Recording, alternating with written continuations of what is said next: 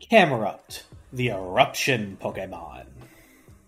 Camerupt has a volcano inside its body. Magma of 18,000 degrees Fahrenheit courses through its body. Occasionally, the humps on this Pokemon's back erupt, spewing the superheated magma. The humps on Camerupt's back are formed by a transformation of its bones. This Pokemon apparently erupts often when enraged. It is a fire ground type Pokemon with a gender ratio of 50 50. It has the abilities Magma Armor, which prevents freezing, Solid Rock, which reduces super effective moves attack damage by 25%, and the hidden ability Anger Point, where it increases attack to maximum level upon taking a critical hit.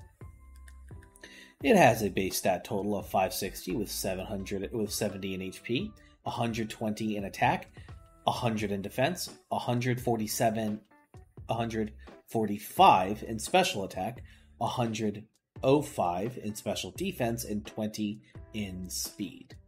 It has a medium fast growth rate and evolves from Numel at level 30.